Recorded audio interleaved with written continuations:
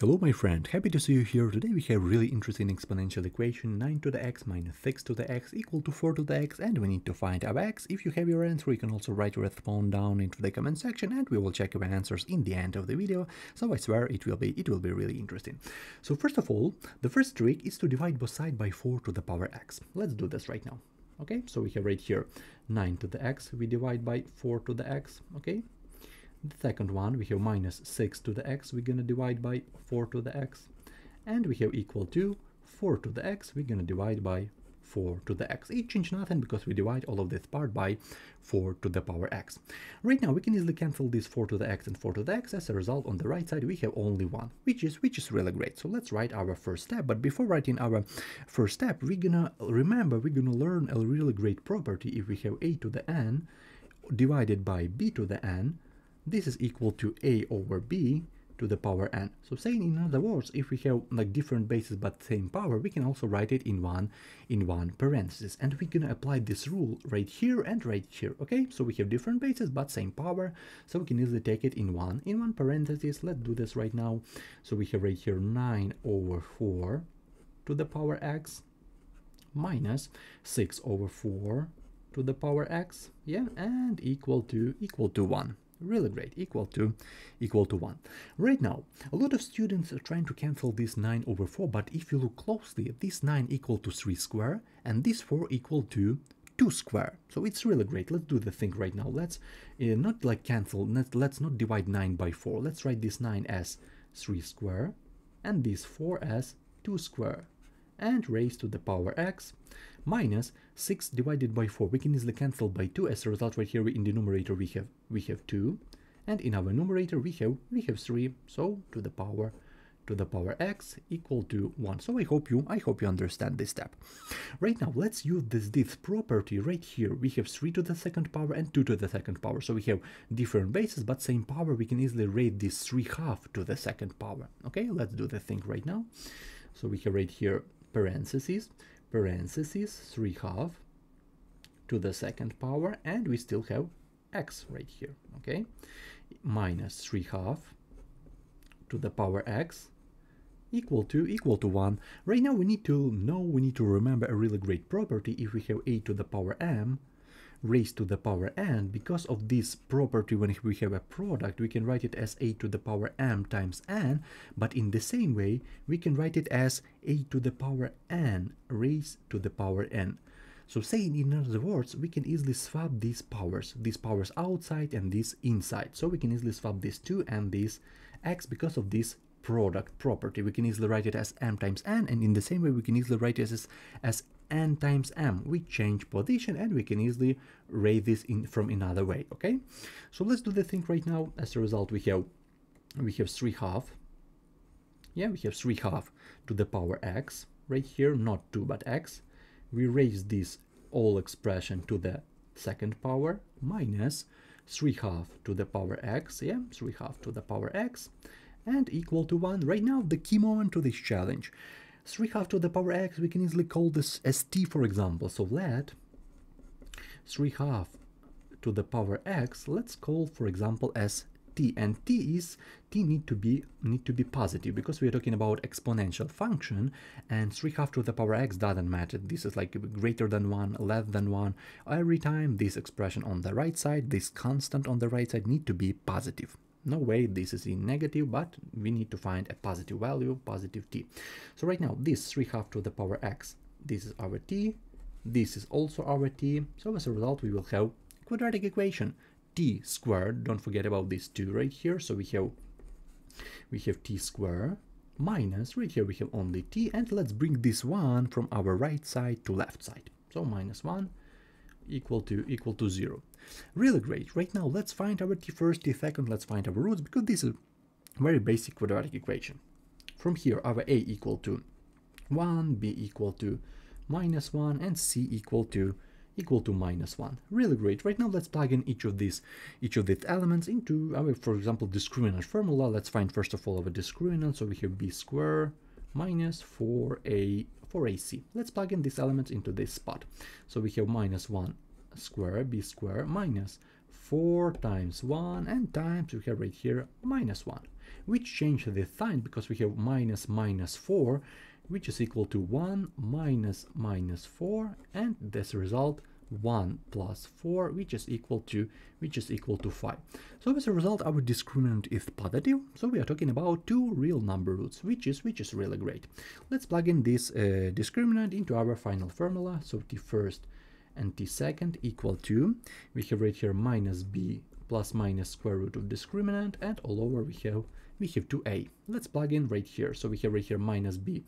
We have minus minus 1 we have plus, minus, square root of discriminant square root of 5 and all over all over 2 as a result this minus this minus is equal to plus. So we have 1 plus minus square root of 5 over over 2 these are our two two roots but these are two roots according to according to t.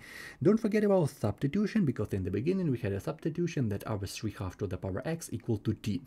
Uh, we're talking about two two roots, t first and t second, so we will have like two two cases. So let's write our final parts to this to this question.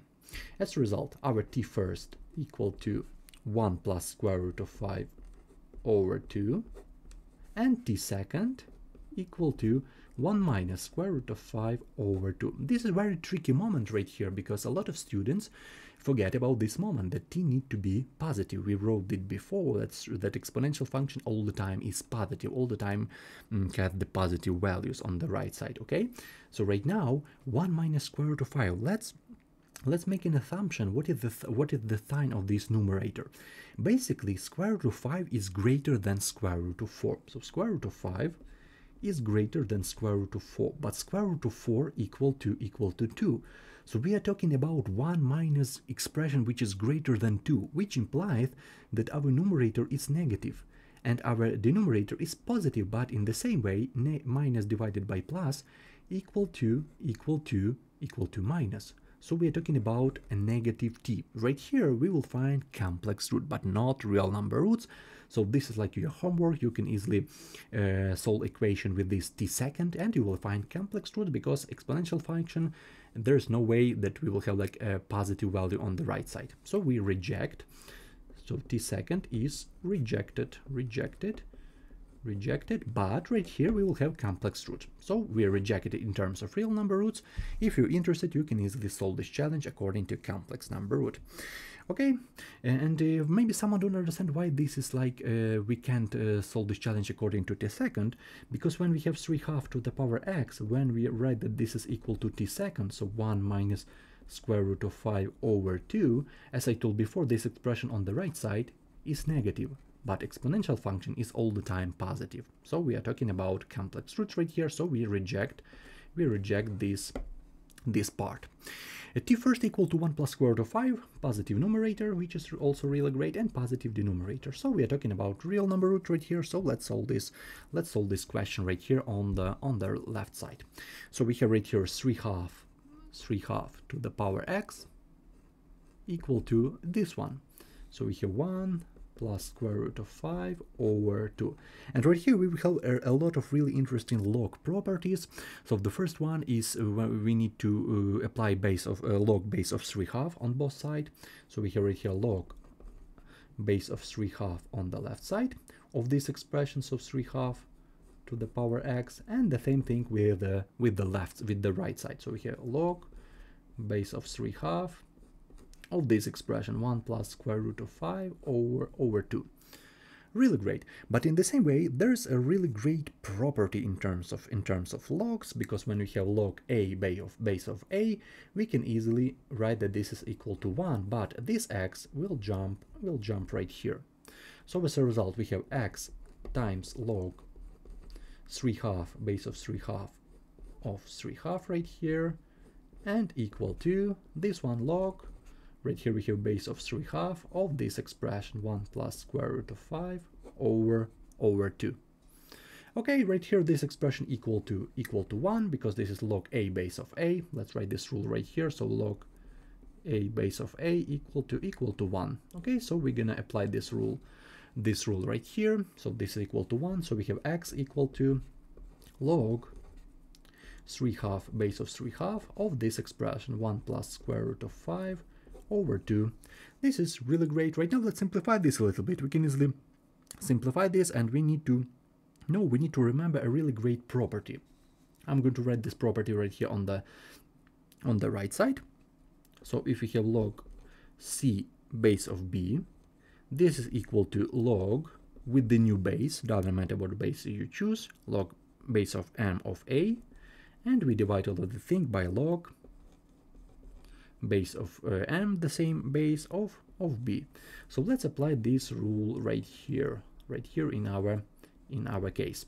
As a result, we have x equal to, we have log, log 1 plus square root of 5 over 2 in our numerator, and in our denominator we have log, log 3 half log 3 half. And the final step right here, we need to know, we need to remember a really great, also a really great property. If we have log a over b, so a division we can easily change by subtraction, and in the same way addition we can change by multiplication. Okay, so as a result right here we have log a minus log log b. So this is our last property we really, really need this property right here and we're going to apply this property in our case. So we have a fraction so as a result log right here we're going to apply this subtraction part in our numerator and we're, we're going to apply this subtraction part in our denominator because we have the same the same division. So as a result let's write our final answer to this question. So we have our answer our answer. So x equal to equal to log 1 plus square root of 5 minus log 2 okay? We have minus the second um, element in our denominator minus log log 2 and the same thing we're gonna do inside our um, denominator. So we have log log 3 minus log log 2 and this is our final answer. Let's write this answer right here into this into these brackets. This is our this is our final answer. Maybe someone interested in approximately answer. So x equal to x approximately equal to 1 1.187 maybe someone interested in approximately answer. Right now you can easily see a graph to this challenge. You can easily see a plot uh, to this challenge. You can easily see this point of intersection that we have only one only one solution 1.18 uh, 1.187 and according to logs we have our we have our answer. You can easily check it check this answer in your calculator because you can easily find these logs right here. You can easily find this constant. And as a result right here subtraction right here subtraction. So somehow you can you can find this approximate answer. But if you trust me you can easily see this uh, this approximation right here. So x approximately equal to 1.187 but on your exam this is absolutely enough for you to to solve this challenge. Because on an exam you don't allow to to use your calculator so this is absolutely enough for you to solve this challenge solve this challenge like that. A great question because there are a lot of really interesting properties.